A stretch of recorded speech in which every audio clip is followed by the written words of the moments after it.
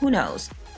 So here I am now just laying the edges. Everything looks okay you know? I'm like okay this is about to be a really cute video. Yeah you guys are gonna like it okay? And I'm now creating the style that Brilliant Beauty did.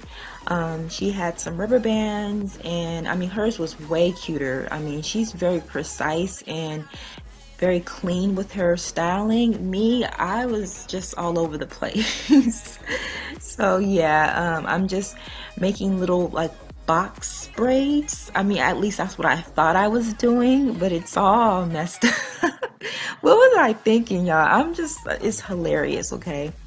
And now I'm just kind of braiding up those sections to make it look a little bit like a French braid or a cornrow, but it ended up looking like something different.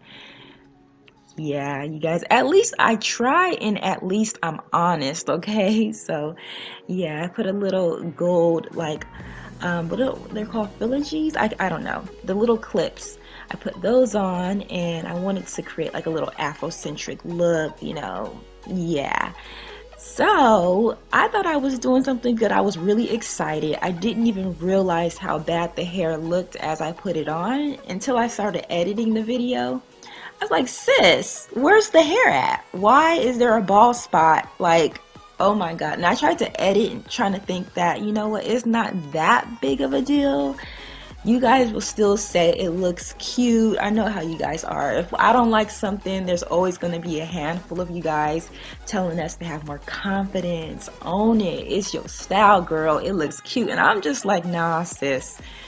No, I no it doesn't. I'm sorry. I know my standards and I wouldn't rock around with that type of ball patch on my wig like that. No, you know.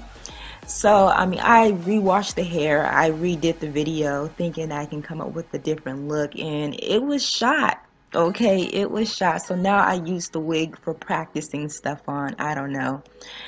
But the hair at least was cute. Okay, if you're looking at the hair, the hair actually looks really cute. Again, you guys, it came from PremierLaceWigs.com.